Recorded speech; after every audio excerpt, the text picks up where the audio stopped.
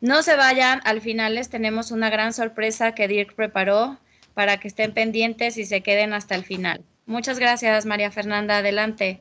Gracias, Mirk. Pues muchas gracias a todos por conectarse. Hoy les voy a presentar a Charles McDonald uh, y a Dirk uh, Winans. Así que no quiero hacer muy larga mi introducción. Charles es un diseñador industrial y es muy importante, tiene una larga trayectoria acá en Chile, pero voy a dejar que él mismo se presente. Entonces, Charles, si quieres eh, encender tu cámara y queremos escuchar de ti un poquito de tu trayectoria y ya adelante con la conversación con Dirk. Muchas gracias. Encantado. Thank you very much for that introduction. I, I think I'll take it on in English now. Uh, I'm uh, Charlie McDonald. I'm from Chile, and uh, I'm an industrial designer. I've worked doing industrial design, and mainly I do lots of architecture, uh, architectural interiors mostly, corporate interiors, and commercial interiors.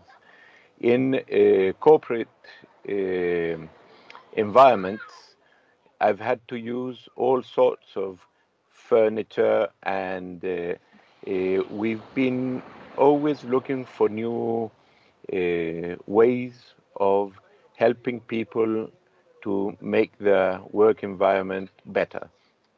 I'm I've had a, a, couple of companies for lots of years. One is Procorp, and the other one is uh, Contract Chile. Uh, now I have got rid of both of them, and quite happy. I'm at this moment, I'm camping up north in Chile. I'm at the beach, so I'm in a caravan uh, doing this transmission. So it's nice to be with you guys. Thank you.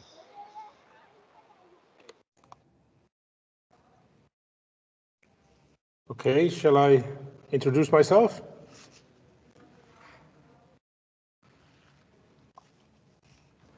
Yep, yep. Okay. So my name is Dirk Wynants. I'm um, the owner, uh, designer, um, actually big boss of the company Extremis in Belgium.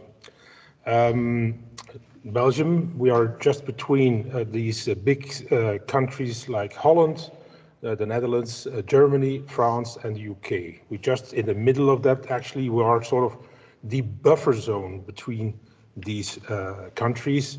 Uh, that's why they established uh, Belgium in 1830, just to be the buffer between the great nations. Um, my father was a cabinet maker, so I was born into wood making. And uh, when I married my wife, when I looked for a wife, uh, I looked for somebody who was the daughter of a metal worker. So um, it's sort of an arranged marriage, which works fine uh, so far. And it gave me the opportunity to work with wood, but also with steel. Now, I'm a trained, um, I studied interior architecture, but already when I studied, it became very clear to me that I wanted to work in uh, furniture design. Um, and I actually, I teach industrial design. So uh, me and Charles, we are just the opposite of each other. He studied as an industrial designer, became an architect. I studied architect, interior architecture, and I became a industrial designer or a furniture designer, which I consider something in between the industrial designer and the architect. Um, so my company is established in 1994, um, and I decided then to make stuff that was not on the market yet. That's also always been the strategy of my company um, we can call it the um, blue ocean strategy. That means that you go look for opportunities in the area that there is no um, offering. In 1994, you could find anything in the outdoor market when it came to contemporary design. So that is I, why I started in that area. Unfortunately, at that time, there was no market for outdoor design. The trend for outdoor design came much later. But anyway, it's all about timing. I was not really a lot too early. I think it was the right time to start in uh, to explore this field. I didn't want to do indoor tables, so fast and whatsoever because that market was already completely taken by big, big and good players So we never want to do what is already done in a good way. We always want looking for these areas where we can still make a difference, where we can add some value, where we can come up with uh, very new designs, which also are useful for the changing society. Uh, because society is changing all the time. And certainly in these days where we have all these changes by, um, by, by technology, by digitalization, and soon by artificial intelligence, I think for us designers, we have to really, really look really carefully on what is changing in society and try to focus on these things to come up with new designs and new solutions for the society. Um, so I have three children. I uh, am a designer, but uh, I also design for other companies, by the way. I'm a teacher in um, the Shanghai Institute of Visual Arts in Shanghai. Actually, I'm responsible for the um, industrial design education. I am a hops farmer. I am a beer brewer. This is my own beer. Cheers, guys. Uh, in Belgium, it's now five o'clock, and officially I can drink something starting from five. Cheers. You all have to wait a little bit longer, but uh, I can already have a drink. Um, and I breed horses. And I love sailing, I love snowboarding, I love doing all kinds of outdoor stuff. And I love barbecuing, I love cooking, and mainly, even more, I love eating. Thank you.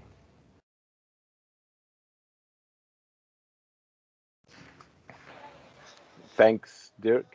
Um, I'd just like to get into a few uh, questions uh, that we could, uh, so that we can focus what we are doing nowadays and maybe what is inspiring us or where we're getting information for the design.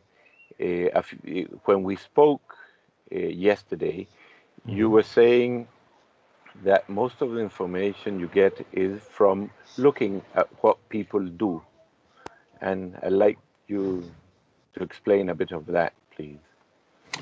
Well, um, the baseline for our furniture range is tools for togetherness. So I'm not interested in chairs or tables or whatsoever. I'm interested in watching the interaction of people and I think it's our my task to try to improve that interaction between people the furniture we make are just the tools to enhance that, to make that possible, to improve that. So when we start thinking about something new, we will never start thinking about, hmm, let's make a new chair or hmm, let's make a new uh, sofa or something. No, we will start really observing how people interact, how people are together, uh, how these things also change, how people do this in other cultures and so on, to uh, get inspired and to to uh, make that the basis uh, of a new design.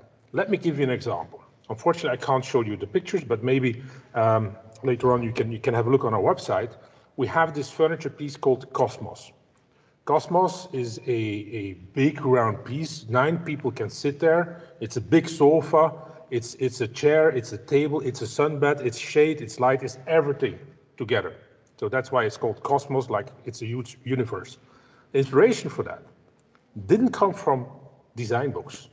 Inspiration for that came from me going out sailing. I was a sailor at a very young age. I didn't do it for a long time. And then I went back to the sea to sail with the larger boats. Now, when you get back in the harbor, you park your boat. What happens then? You sit together with all the other people on the boat. You sit together in the cockpit. You open a bottle of wine. You have a little talk and all that. This interaction we take that interaction and we make this into a furniture piece. If you look at the cosmos, you even can recognize the yacht. The inspiration, however, has played in this not in a in an active role, but in the back of my head. It's not something conscious. It's and that's why I always advise my students to go out to get inspired by anything, but everything, not just looking at design books and all that, but to go out because inspiration can be found everywhere. So even sailing, even my own hop field was the inspiration for our table hopper.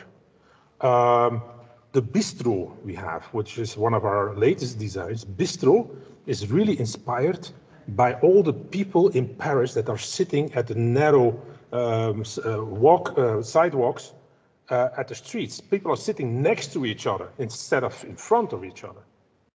Try to sit next to each other.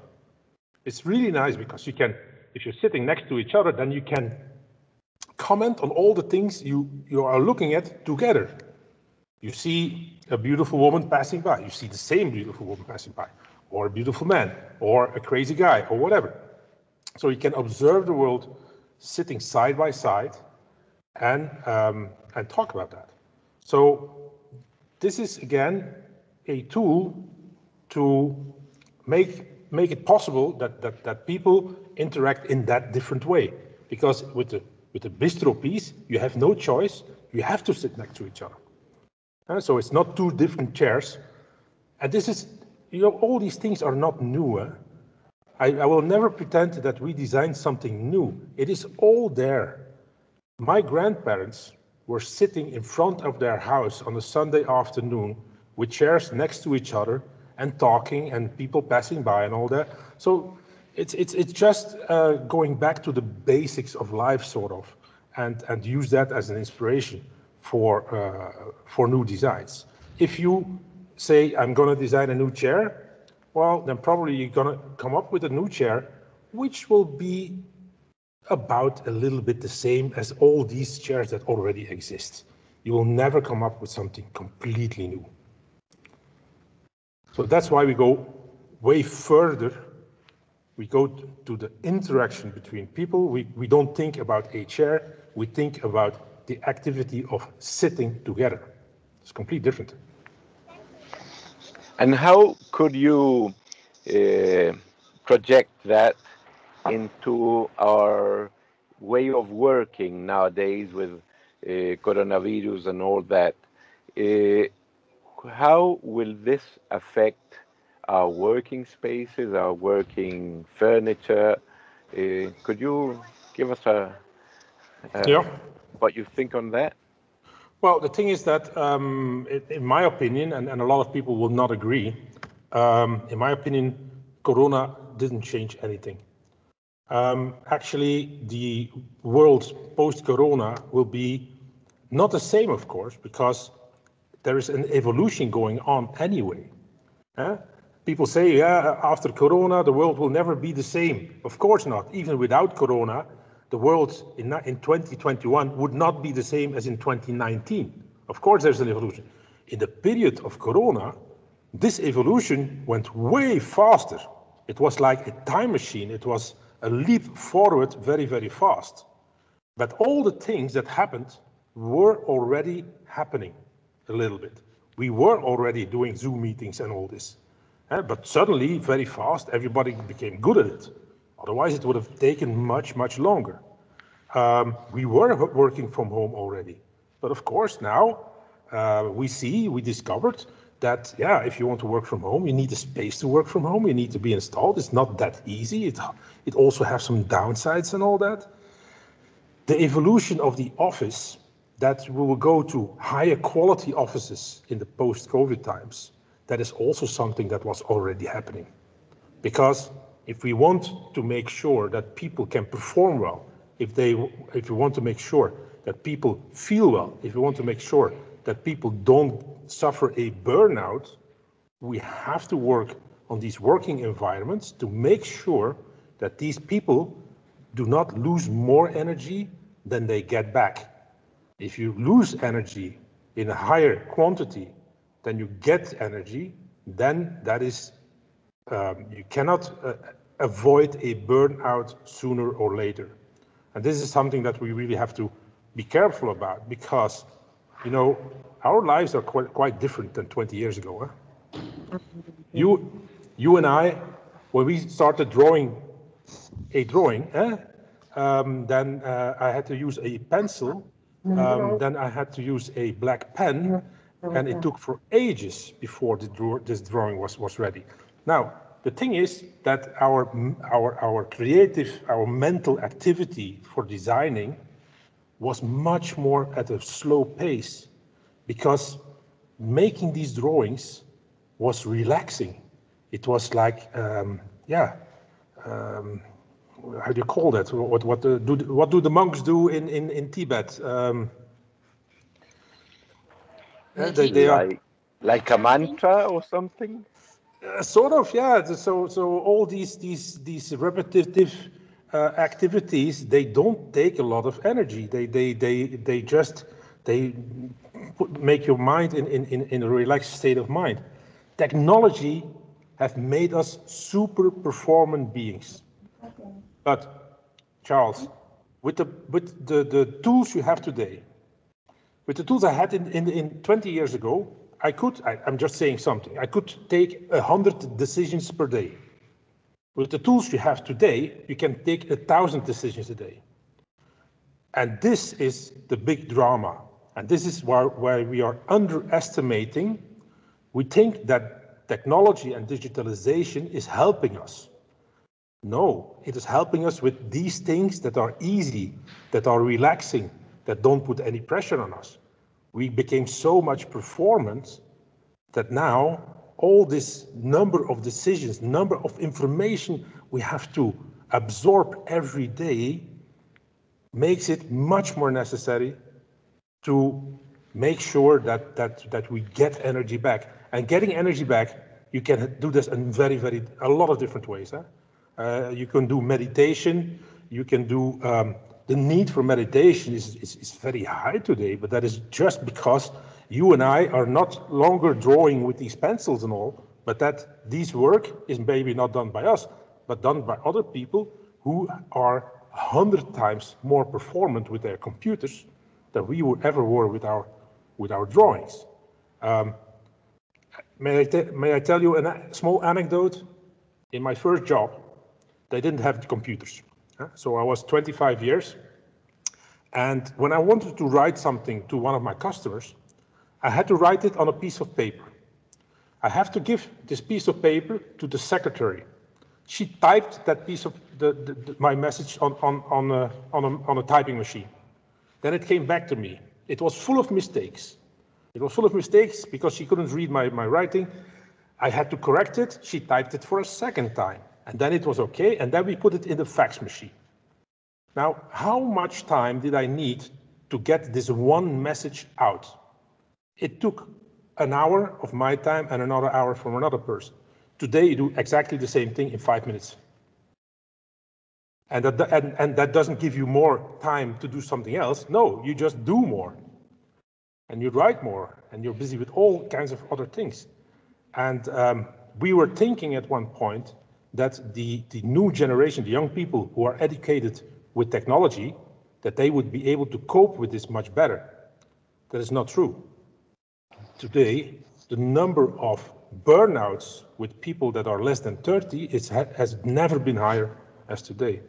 So we do have a problem there, and we as designers have to work on this to make sure that we provide the right compensation in city planning, in architecture, in interiors of offices, in furniture design, whatsoever.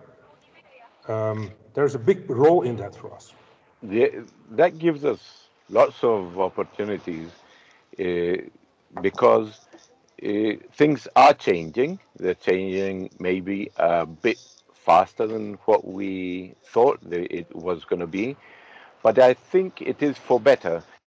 Uh, what we are seeing in work environments is that people are uh, willing to go back to the office, but not they're not willing to get back into their cubicles.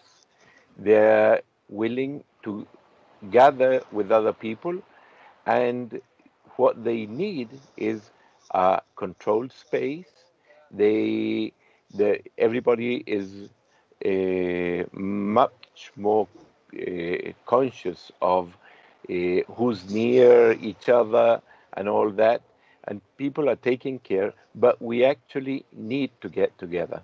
So I think uh, what we can do, some people through technology and us uh, the, the design community uh, can do with architecture and mainly with furniture is very important. And I think your role there is getting furniture that has to do a quite a big task because it has to be flexible, comfortable, uh, good for interiors, exteriors. Uh, nowadays, ex uh, exteriors in offices are much more looked for than it was some mm -hmm. years ago. people people are not very happy to have air conditioning uh, uh, on top of them. Uh, so there's much more use of natural air, if you want. Yeah. In our countries, in which we have a very good weather, uh, you could almost uh, be outside most of the year. I think your weather is a bit more complicated mm-hmm. but you're you can see and you said that at one moment that people in uh, Belgium are willing to be if they see a ray of sun they're willing to come out and be in this exterior and I think it's important what you can do not only with the furniture but with the placemaking and most of your furniture is not a piece of furniture, but it is like a, a complete uh, space uh, yes. uh, with something on top of your head, uh, around you. Uh, your designs have uh, a lot of flexibility and lots of bits and pieces you can put together to make a very nice work environment that's flexible and comfortable? Well, the, the multifunctionality uh, that I use has several reasons. One of the reasons is that we should not forget that the amount of people in the world is increasing and that the amount of people living in urban areas um, now already passed 50% worldwide. The UN is expecting that by 2050, 70 to 80% of all people worldwide will live in urban areas. That means that the amount of space per person, per family, already today is decreasing every year. The amount of square meters, the average square meters that one family takes is getting smaller and smaller. So we need to work um, um, at, at, at using space in a more sensible way, and multifunctionality is one of these, these uh, possibilities. Now, uh, the other thing is that, um, you know, Charles, the, the, the trend for outdoor design started around the year 2000, huh? slowly. This is not a coincidence. This is absolutely not a coincidence because this is the time that we started using mobile phones and internet because mobile phones and internet gave us so much opportunities, as I just explained you, made us much more performant. And so we had a bigger need to get in touch with nature again. We call that biophilia. Biophilia is a term that is invented by a guy in, in, in the 80s, uh, where he says, look, there is an inborn need of humans to be in contact with nature.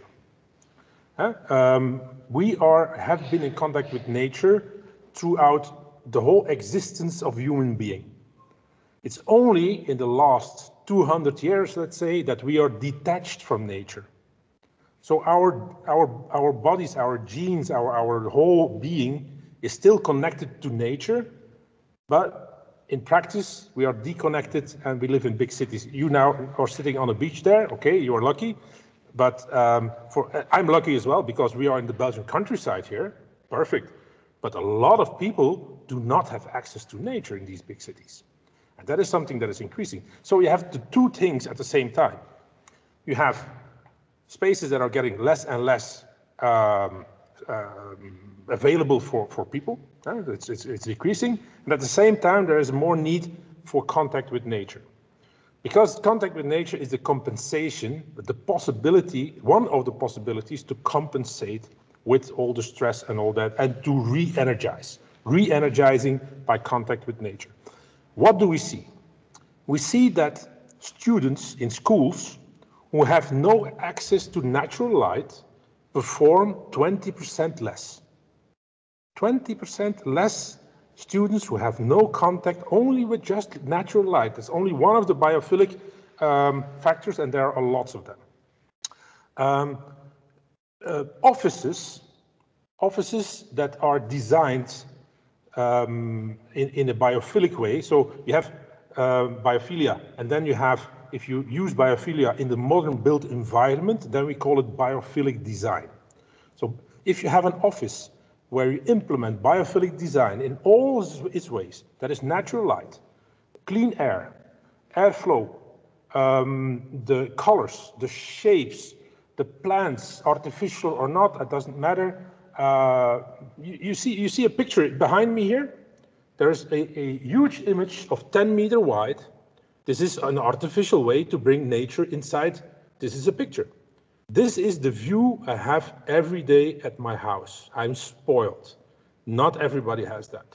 So um, biophilic design is something that is not something that, that is luxury. It is a necessity in the future and every office should have it. It is proven already that today performance by uh, employees uh, are 24% uh, better in a good biophilic designed environment. Imagine, as a company, you have the human cost in a company, and the human cost on an average is about 70%. So of course, it depends completely on what, on what kind of activity you have. But imagine that 70% of the whole cost of your company is the human uh, capital. If you can increase this cost, the performance of this cost, by 24%, then you can spend a lot of money and still have a profit. And that is something that we need to, to, to pass out to all these people that make decisions on, on, um, on office uh, environments, that this is not just a investment to spoil people. No, it is a investment that has a perfect return on investment.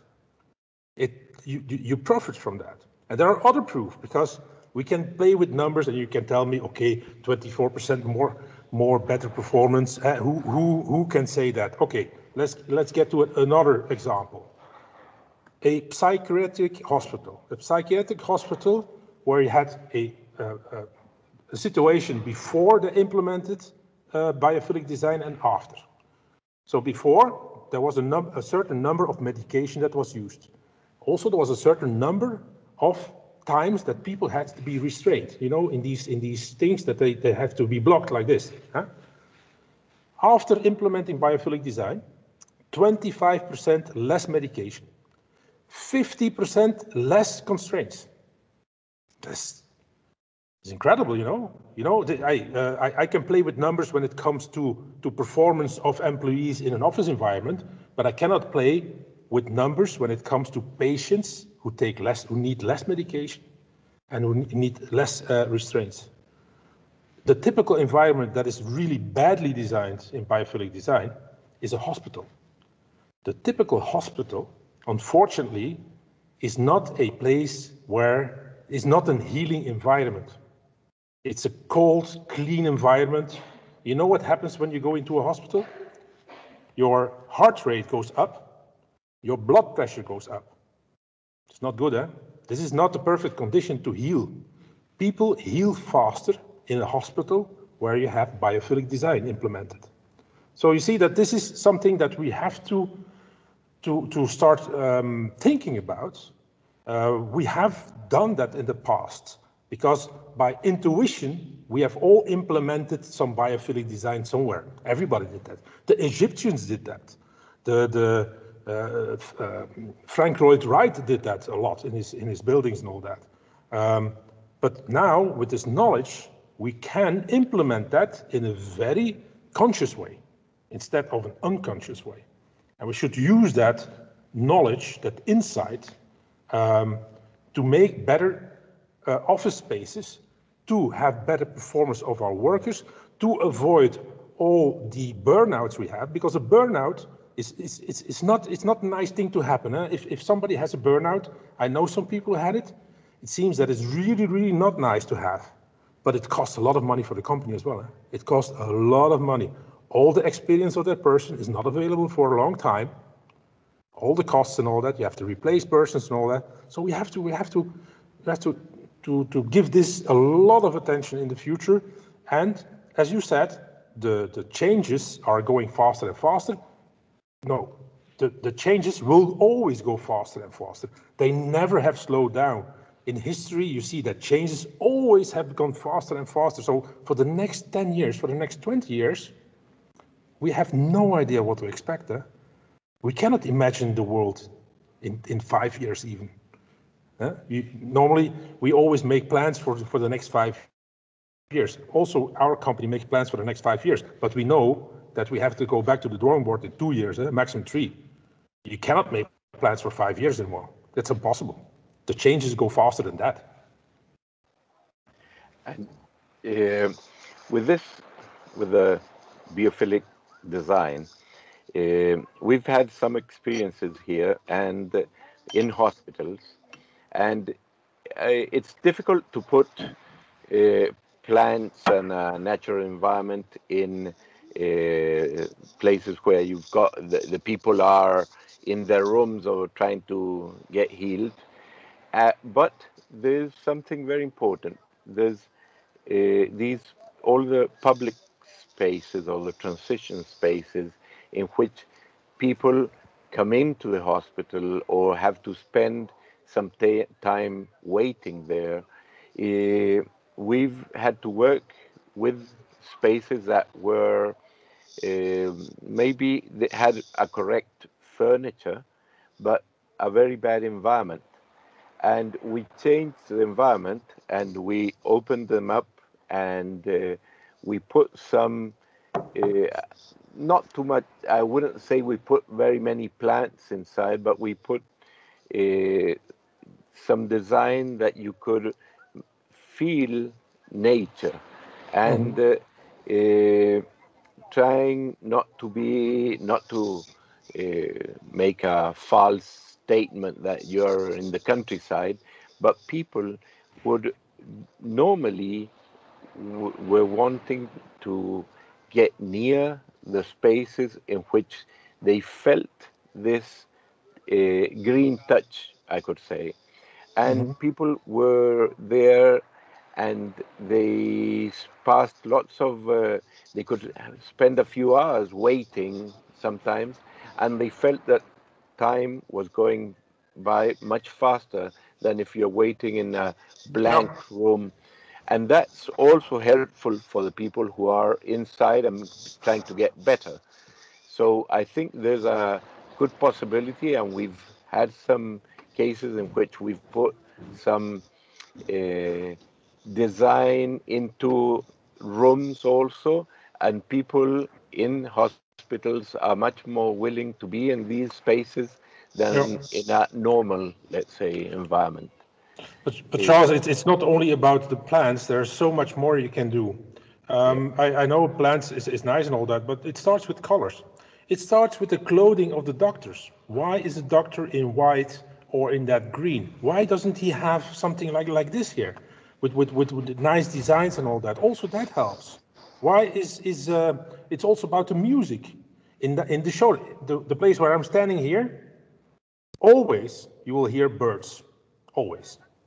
So now I have in the background I have little birds that are they're not real, they're artificial, but it also helps.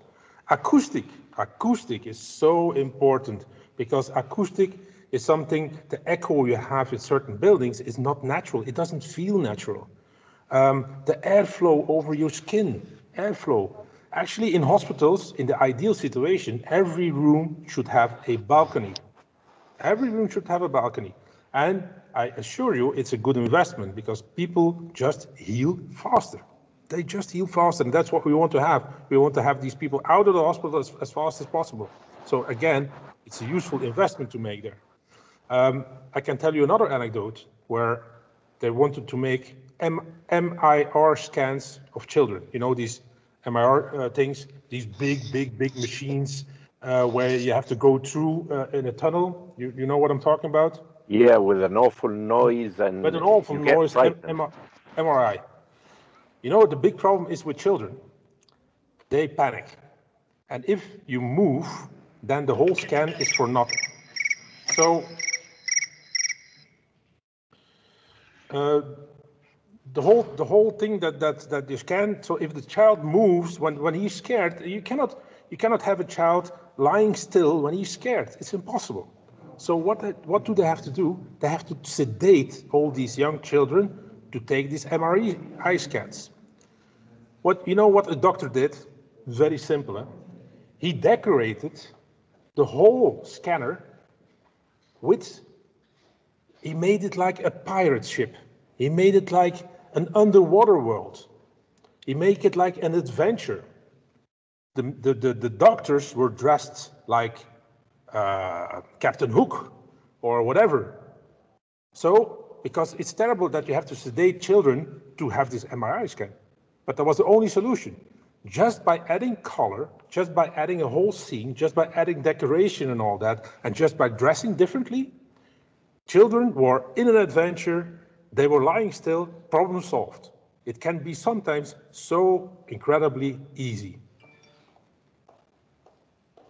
Getting back to your to furniture because we've got an awful lot of of uh, uh, interesting uh, experiences that we can uh, share, but mainly we can see that you're in like your office, your showroom, and we can see some furniture that is made for outside spaces but works well in inside spaces.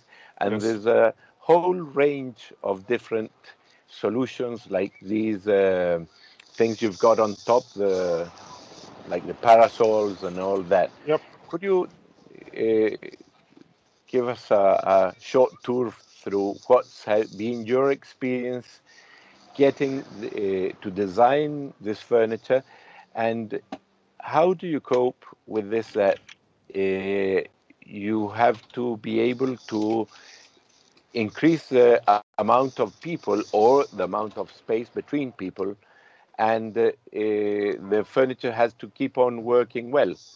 Yeah. Well first of all what we're going to do and what will happen everywhere is that all outdoor spaces that are available will be used. You can already see that in big cities like New York City. Soon, all the rooftops, every available space outside will be used. That is already um, in, on our uh, booth at Orgatec um, more than two years ago. Yeah, no, three years ago, I guess. Um, at, at the booth there, we made a so-called rooftop that was sort of reclaimed and made, made office space.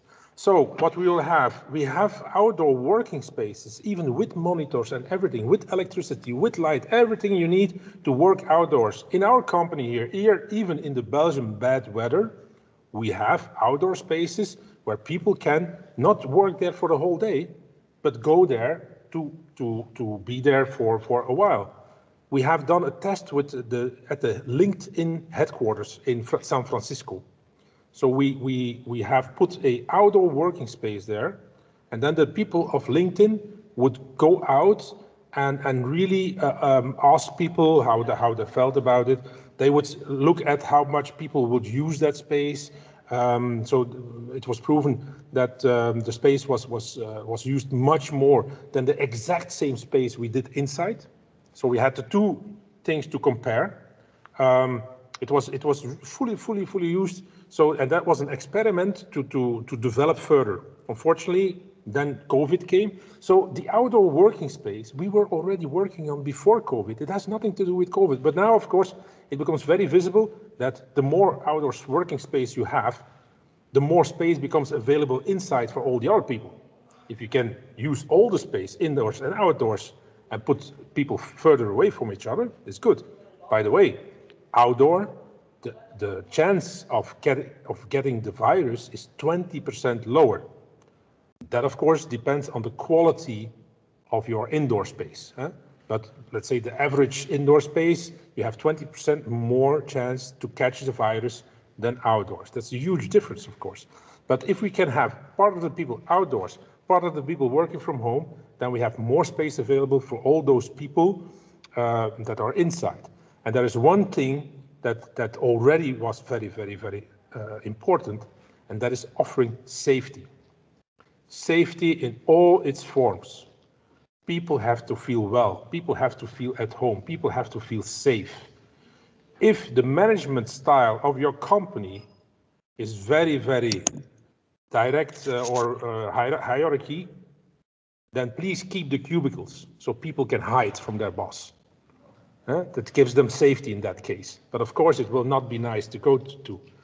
Nowadays, I'm asked all the time uh, by clients, by journalists and all that, um, what do you think now about, about the, the, the, the future? How, how should the future office look like? The first thing to consider is what is the management style of my company? And that will be the thing that detects that that that will will uh, direct the the the um, the office uh, um, the the way you install your office.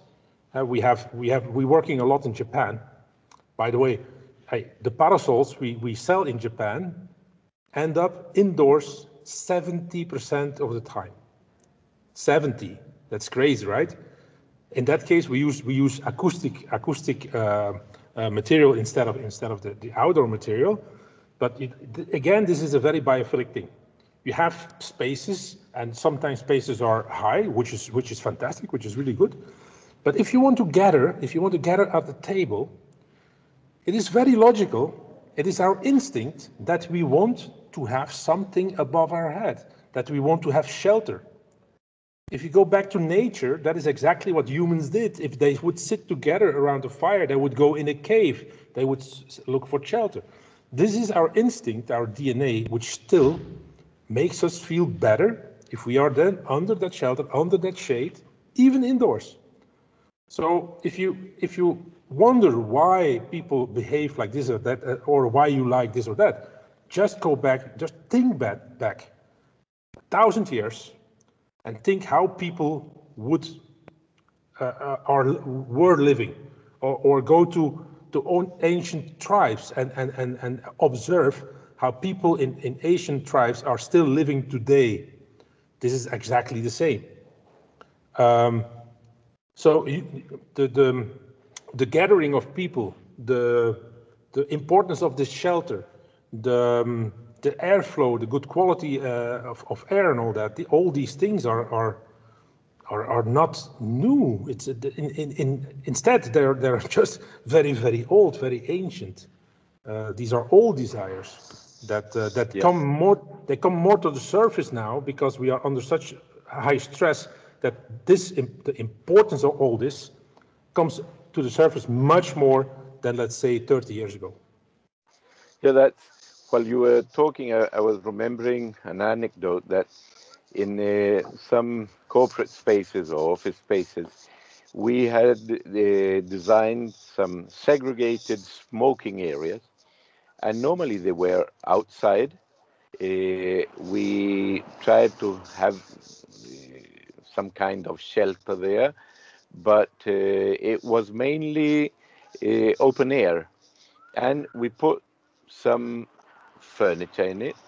And people started, and mainly in the last year, people are working in those spaces, and now they've uh, pushed smoking people out of these mm-hmm. spaces, mm-hmm. and yeah.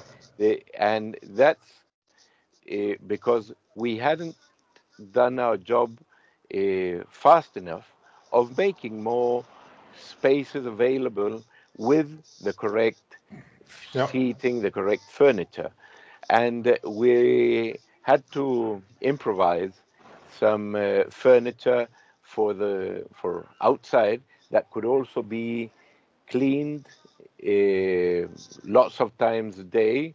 And as we uh, a few months ago, we didn't know what a safe cleanliness should be. Uh, with spray with uh, ammonia and all sorts of things. And normal furniture wouldn't resist that no. kind of of treating. And uh, so we put exterior furniture that looked funny at first, but everybody finished working there and with a kind of uh, for parasols or these umbrellas uh, it it looked funny it didn't look corporate but everybody was willing to use it mm-hmm. and uh, i think it's a trend that uh, there's a lot to be done there yeah there's a lot well, the thing is that that our jobs, uh, the content of our jobs, changed dramatically. Eh? So um, let's let's talk about the, the meeting room. Eh? The meeting room. Look, if if I have a meeting with my accountant, um, I'm okay with the normal meeting room. Eh? Um, typical thing that you have there, you have to go through numbers and all that. If you want to have a creative meeting, don't go to that same room. It will not work. You have to I, I, strongly believe that we, we need to design our offices more not for, for each person or something, but for each task. You have a task, the meeting with the numbers, that is that meeting room. You have a creative meeting, that is that meeting room, or outside. We have our creative meetings outside as much as possible, and we try to provide some spaces there as well. Of course, the weather has to be good, and it's not only uh, in our country where it's sometimes too wet and too cold. There is a lot of countries where it's also too hot. So not every country has the possibility to sit outside all the time. But we still want to have the same feeling. We want to feel at home. We want to feel safe. We want to feel as we are in, in, in we don't want to feel uh, in, in a working environment anymore. That's, that's, that's, that is the only feeling we don't want to have. So there is a, a, a lot of, of change there. And the importance of that is, is very clear because when, whenever we hire people here, when, when before I started my own company, I also had some jobs because I also want to have the experience of having a job. Um, the times that I was hired, because I changed a few jobs um, to learn a specific thing uh, that I needed to, before starting my own company. And you know what, you discussed your salary and eventually your company car, if, if you were lucky to have one. That's it. Most of the time, you even you even didn't see the office you were going to work in. That was that was a discovery on your first working day. That doesn't work anymore. When we uh, hire people, they want to see where they will work. They want to see where they have to spend their time, their day. They want to see how the environment feels. And that has become more important than that company car and that brand and all that. I will, I will not say that salary is not important anymore, but still there is a huge shift. If you want to attract the best talent, if you want to attract, and there is a war for talent, eh? everybody wants to have the best people. If you want those best people, you better make sure that your working environment is perfect because otherwise they will not want to come to work to you, whatever you offer them. And that is 100% sure. Yeah, that's true Eh, in our countries in South America also. Eh, talents, eh, talented people are difficult to retain. Maybe you can have them for a time, but they won't stay. They're not silly and they, they yes, but... you can't rise the, the, their salary to get them better. No, they, they want better environments, working environments. But uh, Charles, look, I'm, I'm never worried about those people who go after a while. I'm always worried about those people who stay all the time. You know, that's because those those I know if I hire somebody uh, who's really good, I know that one day I might lose him. That's good. I mean, that is okay, as long as those people uh, don't go away after six months and, and, and while they're there, they, they do their job. It's just fine. I'm more worried about those who stay here because those are not the ones uh, you want to keep. That's a bigger problem for you. I wouldn't know how to cope with those. Uh, but that's it's it's a big problem. Every company has three types of people. You have those people who do their job. That's it. That's the biggest part. Then you have those people who hold you behind. Every company has that. There is nobody who escapes from that. Every company has some people there who just are negative or bad influence or not doing the job and all that. And then you have another group who really pull you forward, who who outperform what what they do. Every every company has those three. But of course, you can try to make the, the one group who pulls you forward much bigger. Than that group that holds you back. And there, is, there are studies about this. And uh, the studies internationally show that Chinese companies have the biggest problem with people who are holding them back. American companies are much score much better. Uh, European companies are somewhere in the middle. About South America, I have no idea. Uh, but but um, but this is something that is quite interesting to to observe because um, you have this amount of people there, and and and yeah, um, you want to go forward, of course, but you cannot do that by yourself. You need those people to do that for you, and you want that group of people holding you back as small as possible.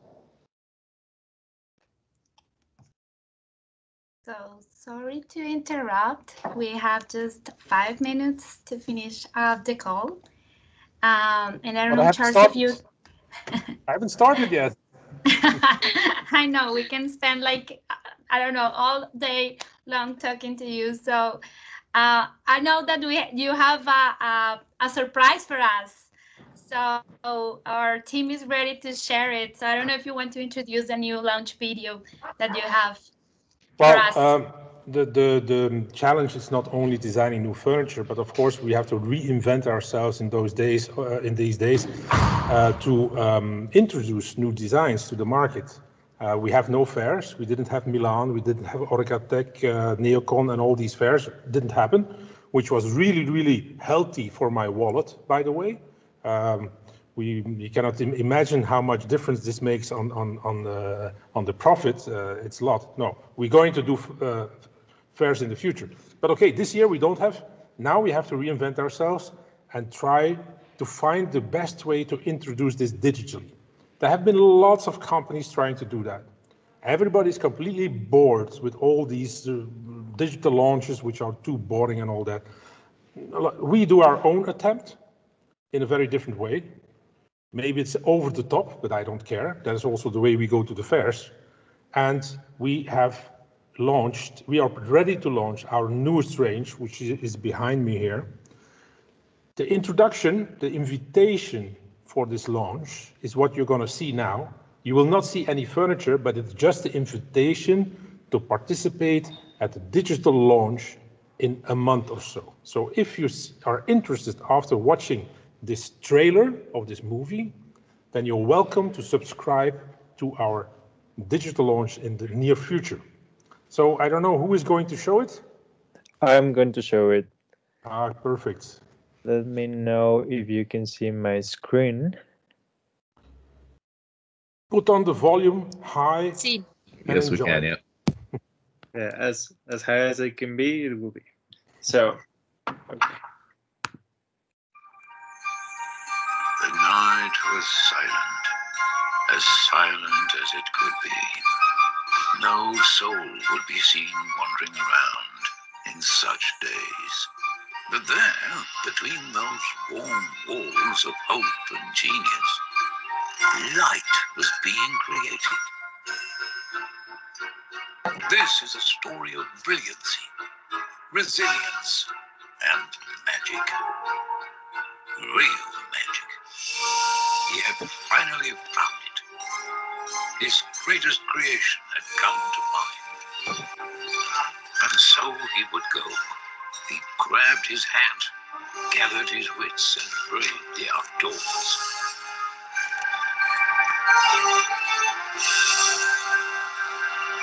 Burgess Documentus knew he couldn't keep it to himself. He walked out the door and got on his broom. As he continued, he hopped on his horse and fearlessly rode through the misty forest of Proven.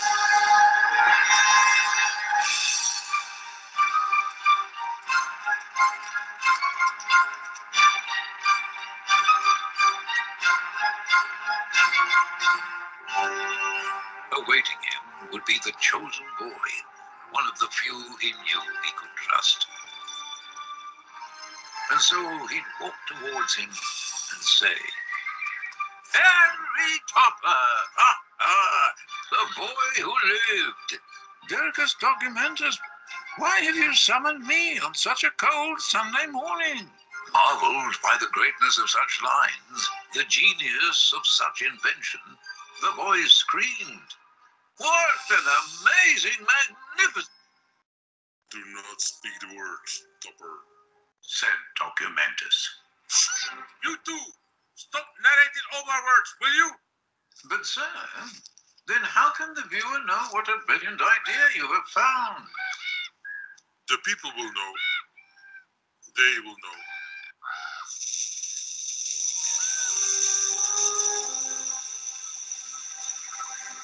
Curious, you fearless wizards? Join us in our virtual launch and discover how the story unfolds of Harry Topper and the Table of Proven.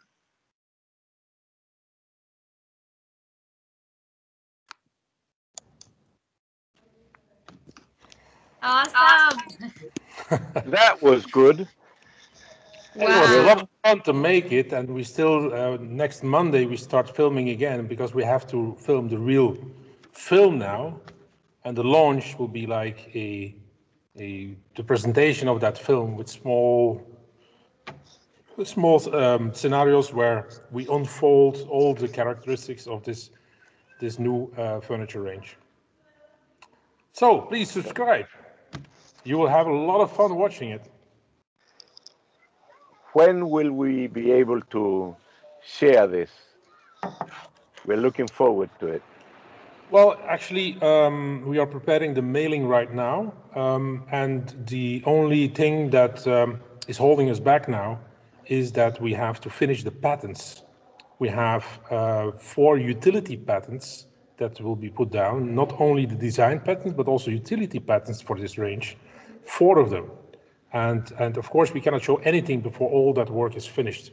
And I estimate that in one month, but we can already start organizing it and we can already start uh, subscribing to these digital launches. But all this information will be shared by, by Thomas and Ashley in the, in the next week. How, how this is planned, how the scenario unfolds, and how this can be organized with your customers. Well, as you've got a, a, a little bit of time, I just wanted to invite you round to where I am. uh,